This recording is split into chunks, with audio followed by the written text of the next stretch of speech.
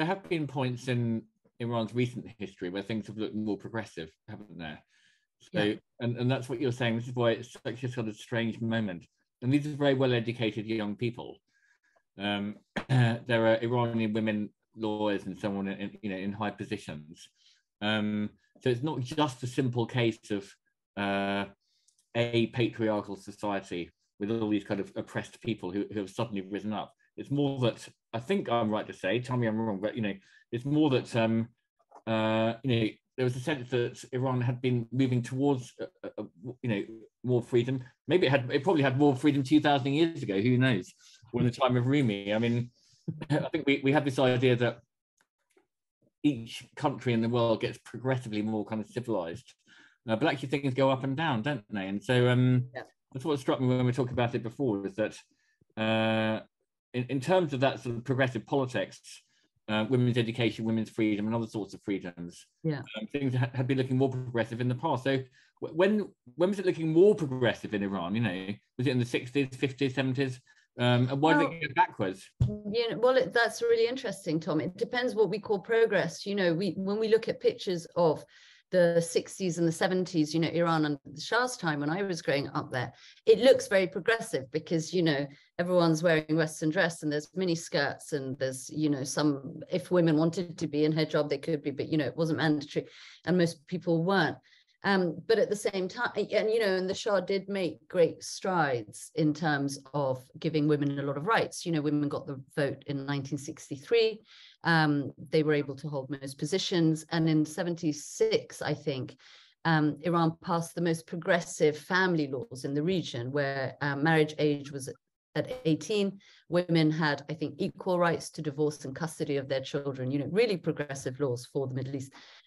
Having said that, under um, during the Islamic Republic, women's well literacy generally has shot up to over 90%, which is the highest in the region.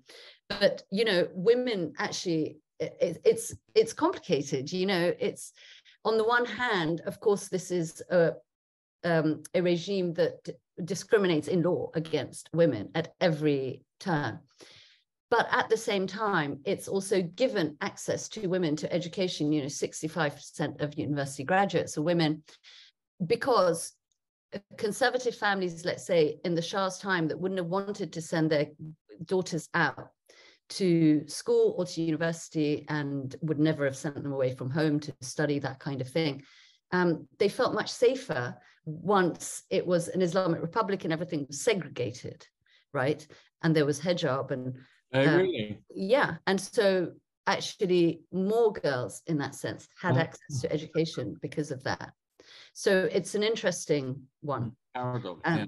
Um, yeah and women do work massively and of course society has changed you know life has changed you know in iran both um, you know in a marriage both uh, mem- the couple will both be working it won't it's you know like everywhere um, because of the economy everyone is working their lives are different um, that's so there's so you know progress right? Women are massively evident in Iran in public life. They're not sort of stuck at home. Um, they make up the majority of civil servants, teachers, nurses, that kind of thing. Um, they can hold a lot of positions. They are in parliament. Of course, they don't hold the top positions. Um, a woman's word is only worth half of that of a man in the court of law.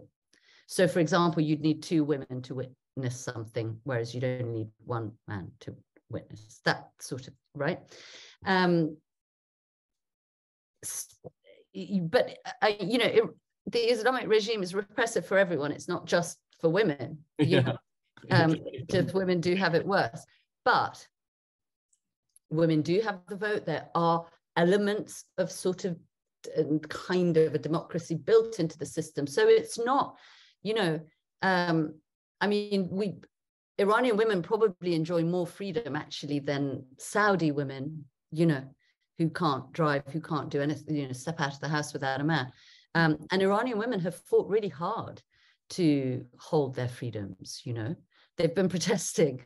You know, the first women's protest against the hijab was like three weeks after Khomeini came back in the in 1979. So, you know, it's the the women's movement is really strong.